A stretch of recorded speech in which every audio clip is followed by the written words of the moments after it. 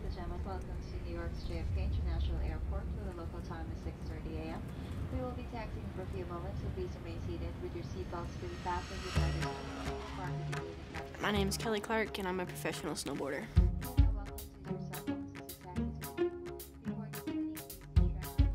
Kelly goes bigger than a lot of guys in the half pipe. She goes bigger than I go in the half pipe, that's for sure.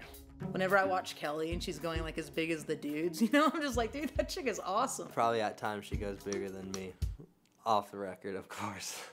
Please stay in your seat until the captain turns off the seatbelt sign. Red eye flight, but I never fell asleep last night. And everything's new and everything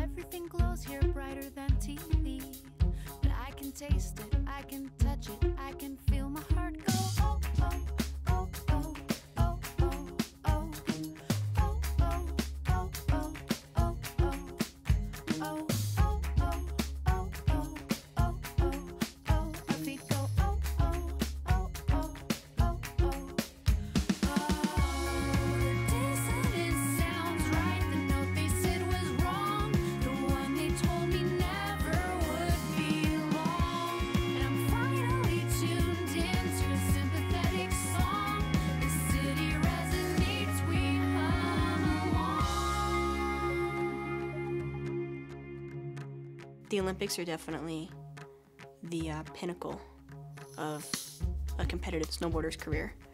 I won the Olympics when I was 18 in 2002 in Salt Lake City. You know you've made it when. I was living the dream, you know, every every kid that dreams about being a pro snowboarder, I had it made. On the flip side of it, on the inside, I wasn't really satisfied because no matter what I did, nothing was fulfilling me, even all the success that I could strive for. Um, and I think about two years went by, and I was at my first event in Utah. I was in my hotel room that morning, and I was just writing in my journal, and I was kind of, I was kind of at the end of it.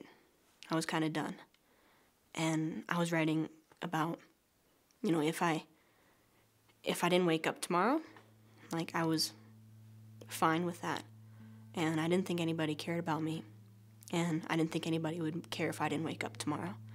And I just thought was was writing about how if this was what life was, like if that's what it was, like I was done with life.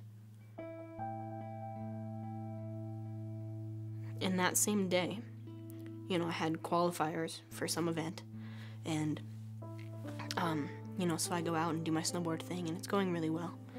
This girl came down because she had crashed twice and her friend was like, hey, it's all right, God still loves you. Just hearing that statement gave me this hope that, like, God loves you. Maybe God loves me. That's something. I found out the girl who had made the comment was staying in my hotel. So I went to her hotel room, knocked on the door, and I said, Hey, my name's Kelly. I think you might be a Christian, and I think you need to tell me about God. I thought being a Christian was about going to church, and I thought it was about following rules, and I thought it was about being good all the time.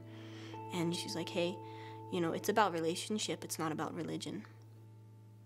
I took the next, you know, four or five months just kind of like, hey, God, like, show me that you're real. This is something that's amazing, but I need to know that I know that I know.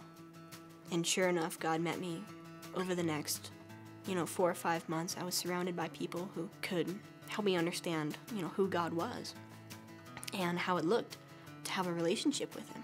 Before I became a Christian, my whole life was snowboarding.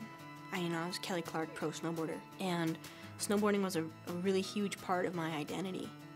It was what I pulled from for my self worth, and um, it's a pretty fragile thing to have your identity in.